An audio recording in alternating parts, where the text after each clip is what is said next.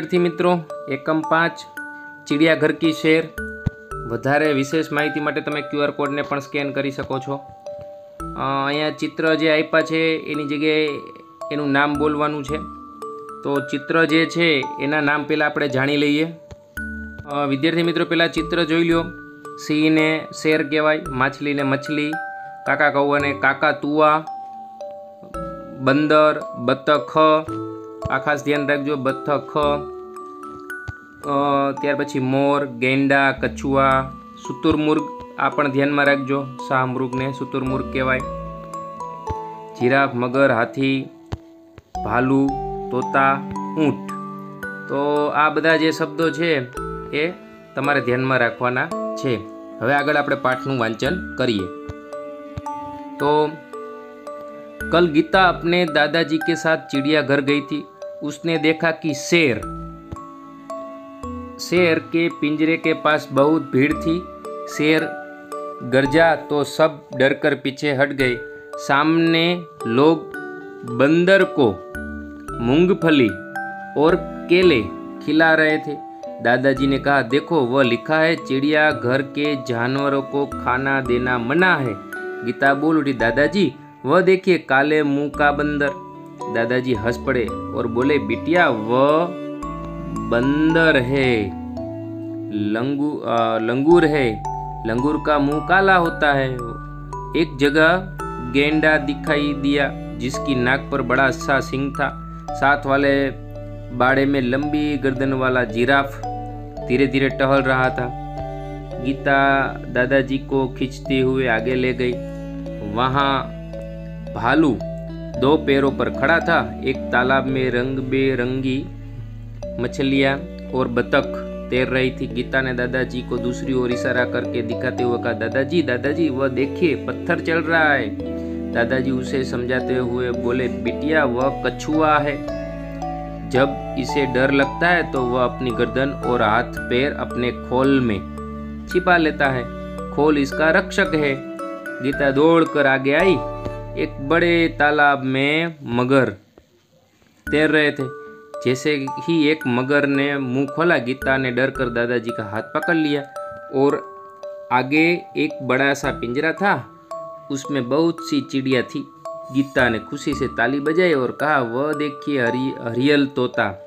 दादाजी ने कहा हाँ और उधर देखो, वह सफ़ेद वाला विदेशी काका काकातौआ है। उसे कातुआ कहते हैं। गीता चहकर बोली, दादाजी, कुछ चिड़िया तो हमारे घर के पास भी दिखाई देती है, जैसे चिड़िया।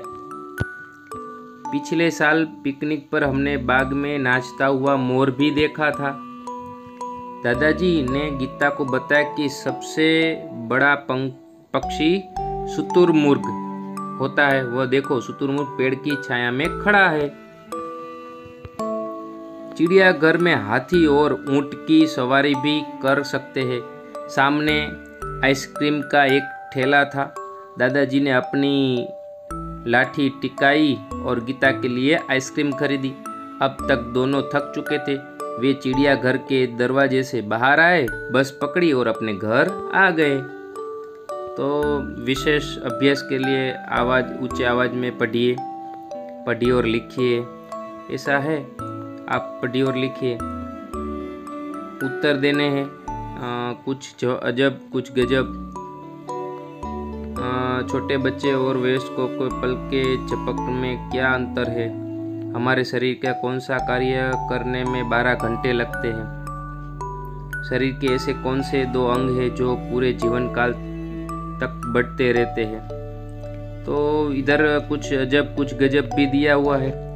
उसकर पढ़कर इसको पढ़कर नीचे दिए गए प्रश्नों के उत्तर देने हैं। अगर आप कभी गौरे करेंगे, गौर करेंगे तो आपके पता चलेगा कि छोटे बच्चे अपनी पलकों को एक मिनट में औसतन एक से दो बार झपकाते हैं, जबकि वयस्कों में यही संख्या करीब दस होती है। हमारे शरीर को एक वक्त का खाना पचाने का, हजम करने में करीब बारह घंटे का समय लगता है। क्या आपको पता है कि हमारे यानी मानव शरीर में नाक एवं कान दो ऐसे अंग हैं जिनका आकार पूरे जीवन काल तक बढ़ता ही रहता है? तो सुना आपने भी। आ, कोई बहुत धीरे चलता है तो लोग कहते हैं ये कछुए की चाल चल रहा है। अब तुम बताओ कि तेज चला चाल चलने वाले को कहा क्या कहेंगे? खरगोश की चाल। चिड़ियाघर में जाकर क्या क्या नहीं करना चाहिए? आ, हमें चिड़ियाघर में किसी जानवर को खाना देना चाहिए नहीं किसी को सताना नहीं चाहिए। चिड़ियाघर की सैर के लिए कौन कौन गए थे? तो चिड़ियाघर की सैर करने के लिए गीता और दादाजी गए थे। बंदर को लोग क्या खिला रहे थे? केले और मूंगफली। लंगूर का मुँह कैसा होता है? काला होता है। तालाब में क्या थे? बत्तख और मगर थी। गीता ने किससे पत्थर बताया? कछुए को। कछुआ का रक्षक क्या है? कछुए का रक्षक उसका जो क्या बोलते हैं उसको? आ, उसकी खोल। कछुए का रक्षक उसकी खोल है। विदेशी पक्षी का नाम क्या था? सुतुरमुर्ग सबसे बड़े पक्षी का नाम क्या था? सुतुरमुर्ग, लिखिए। दिए गए उदाहरण पर पेड़ पर बंदर लटक रहा है। पेड़ पर बंदरिया लटक रही है। तो बंदर की जगह बंदरिया, ऐसे तालाब में हाथी नहा रहा है। तालाब में हाथनी नहा रही है। रेगिस्तान में ऊँट दौड़ रहा है। रेगिस्तान में ऊँटडी दौड़ रही है। जंगल में मोरनी नाच रही है। जंगल में मोर नाच रहा है। पिंजरे में शेर दहाड़ रहा है। पिंजरे में शेरनी दहाड़ रही है। दृश्य दिया गया जिराफ है, शेर है, हिरण है, हाथी है, बंदर है बत्तख है, कछुआ है। तो उसके बारे में पाँच वाक्य तुम्हें लिखने हैं। पूर्ति कीजिए ज़ोर से गर्जा, शेर। खाली जगह पूर्ण है तो इधर आएगा, शेर।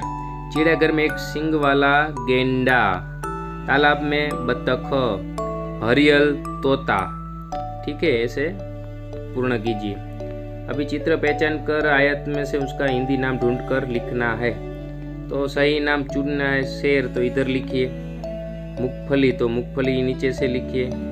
केला तो केला इधर लिखिए। गेंडा तो गेंडा को इधर लिखिए। ऐसे तुम्हें सभी लिखना है, सही जगह पर लिखना है। ठीक है तो ऐसे तुम लिख सकते हो। सुतुर मुर्गी इधर आएँगी। मगर ऊपर आएगी चिड़िया, ऊपर दी गई है। हाथी नीचे आएगा, गोरैया नीचे आएगी। हाथी आएगा, गोरैया कहीं नहीं आएगा, ठीक है? तो इस प्रकार से सभी आप पूर्ण कीजिए और ऐसे शब्द को पढ़िए। पुलिंग, सर्वनाम, स्त्रीलिंग, ऐसे विशेषण, ये सभी के लिए इधर कुछ बातें दी गई है। आप वो जान सकते हैं। अपने आ, कुछ चर्चा करके जानिए। और उसको क्रम इस प्रकार लिख लिखने का क्रम दिया गया है।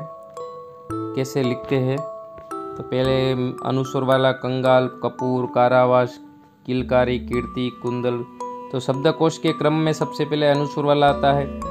उसके बाद क का की की कु कु क्रू कई के कई को कऊ क्यू आधा अक्षर वाला, छेले क्र और क्षमा।